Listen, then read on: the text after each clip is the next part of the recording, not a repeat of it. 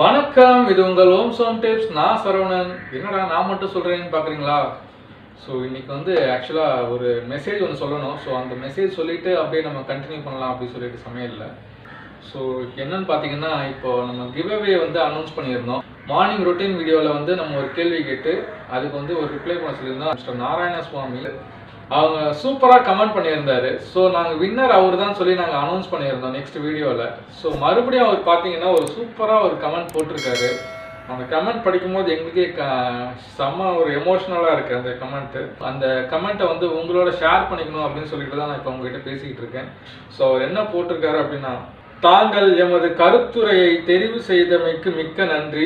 தங்களுடைய ஒவ்வொரு நேர்த்தியான கூட்டு முயற்சிகளையும் அழகிய பதிவுகளையும் ஊக்குவிக்கும் வண்ணம் பதிவி பதிவிடப்பட்டதே அந்த கருத்துரை. வேறெந்த எதிர்பார்ப்பும் அற்றது.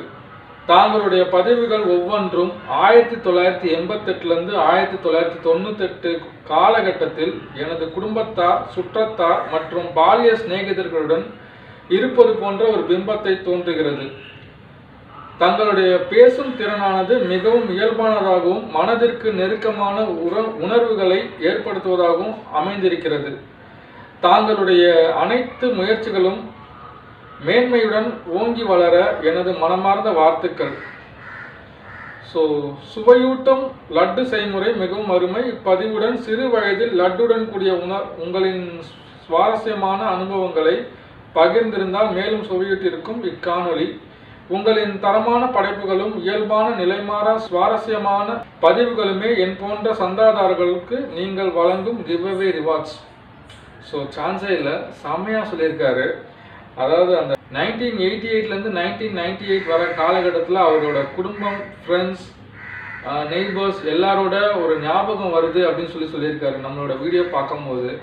அதை பா பார்க்கும்போது ரொம்ப எமோஷ்னலாக இருக்குது ஸோ இந்த அளவுக்கு அவரை நாங்கள் ஞாபகப்படுத்தி இருக்கிறது வந்து நாங்கள் நினைக்கும் போது எங்களுக்கு ரொம்ப சந்தோஷமாக இருக்குது இதுவே எங்களுக்கு மிகப்பெரிய சக்ஸஸாக இருக்குது ஸோ ரொம்ப ரொம்ப thanks sir mister Narayana Swamy ரொம்ப ரொம்ப தேங்க்ஸ் நீங்கள் கொடுக்குற ஒரு ஒரு ரிப்ளையும் வந்து எங்களுக்கு ஒரு மிகப்பெரிய பூஸ்டாக இருக்குது ரொம்ப இன்ஸ்பிரேஷனலாக இருக்குது மேபி உங்களுக்கு இந்த ரிவார்ட் வேண்டாம்னு நீங்கள் என்ன சொல்லலாம் பட் ஆனால் எங்களுக்கு அது கொடுக்கணும்னு ரொம்ப ஆசையாக இருக்குது சப்போஸ் உங்களுக்கு அந்த ரிவார்ட் வேணானாலும் பரவாயில்ல நீங்கள் யாருன்னு எங்களுக்கு தெரிஞ்சுக்கணும்னு ரொம்ப ஆசையாக இருக்குது அதுக்கோசமாவது உங்களோட டீட்டெயில்ஸை அந்த வாட்ஸ்அப் நம்பரில் அனுப்பிச்சி வைங்க. ரொம்ப சந்தோஷமாக இருக்கும் நாங்கள் பார்த்து தெரிஞ்சுக்கிட்டாக்க.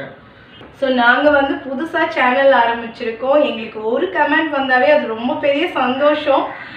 நாங்கள் எப்படி பண்ணுறோம் என்னன்ட்டு ஒரு கமெண்ட்டில் பார்க்க போதே எங்களுக்கு ரொம்ப சந்தோஷமாயிடும். நான் அதனால தான் இந்த எங்களால் தொடர்ச்சியாக இந்த வீடியோஸ் எல்லாம் பண்ணிகிட்டே இருக்க முடியுது. எங்களோட வியூஸ் எப்படி அப்படி இப்படி இருந்தாலுமே எங்களுக்கு இந்த இந்த மாதிரி ஒரு சில மோட்டிவேஷன் வேர்ட்ஸ் தான் எங்களால் தொடர்ச்சியாக வீடியோ பண்ண அது இன்னைக்கு இவர் சொல்லியிருக்கிறது எங்களுக்கு ரொம்ப ரொம்ப சந்தோஷம். அவர் யாருன்னு கூட எங்களுக்கு தெரியாது.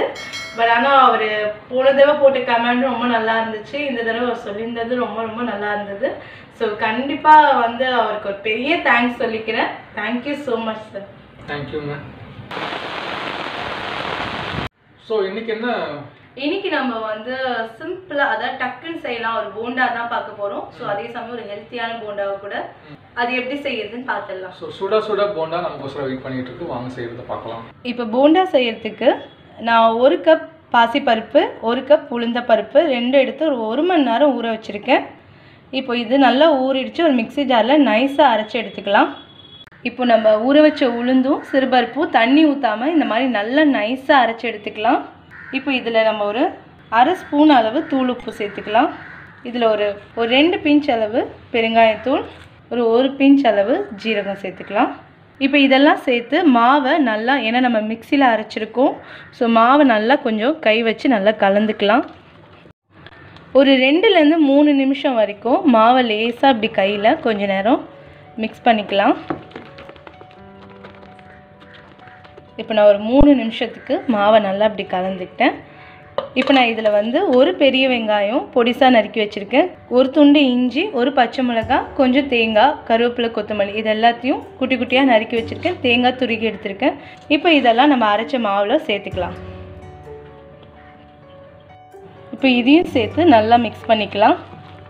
நம்ம எப்பவுமே கரண்டியில் மிக்ஸ் பண்ணுறத விட கையால் மிக்ஸ் பண்ண போது மாவும் நல்லாயிருக்கும் டேஸ்ட்டு நல்லாயிருக்கும். அதே மாதிரி எல்லா இடத்துலையுமே வெங்காயம் கருவேப்பிலை கொத்தமல்லி எல்லா இடத்துலையும் போகும்.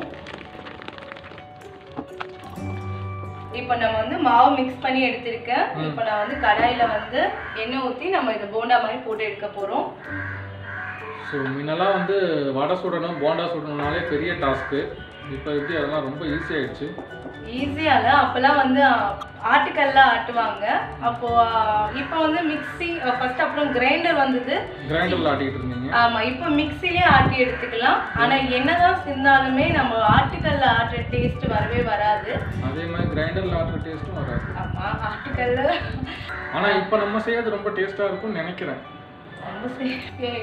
அடுப்புல கடாய் வச்சு எண்ணெய் எண்ணெய் ஊற்றிருக்கேன் எண்ணெய் நல்லா சூடானோன்னு. நம்ம சின்ன சின்னதாக அதாவது மீடியம் சைஸில் போண்டா போட்டு எடுக்க போகிறோம் அவ்வளோதான் ஸோ எண்ணெய் காஞ்சிச்சா நம்ம டெஸ்டிங் ஓடிக்கிட்டு இருக்கு எண்ணெய் காஞ்சிருச்சு. ஸோ நம்ம இப்போ போண்டாவை போட வேண்டியது தான்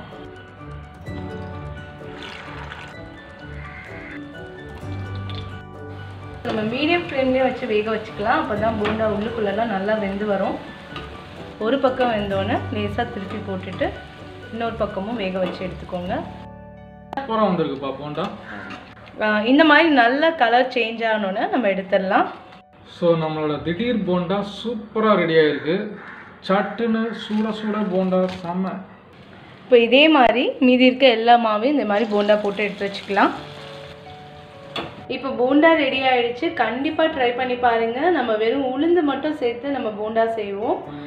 சில பேர் வெறும் சிறுபருப்பு மட்டும் சேர்த்து செய்வாங்க. இது ரெண்டும் சேர்த்து செய்யும் போது போண்டா ரொம்ப சாஃப்டாகவும் டேஸ்ட்டாகவும் இருக்கும். இது இந்த போண்டாவோட கொத்தமல்லி சட்னி இல்லை தேங்காய் சட்னி தொட்டு சாப்பிட்டா ரொம்ப நல்லாயிருக்கும் கண்டிப்பாக ட்ரை பண்ணி பாருங்கள் இந்த வீடியோ பிடிச்சிருந்தா லைக் பண்ணுங்கள் ஷேர் பண்ணுங்கள் ஓம் யூடியூப் டிப் சேனலை மறக்காம சப்ஸ்கிரைப் பண்ணுங்கள் தேங்க்யூ ஸோ மச் தேங்க்யூ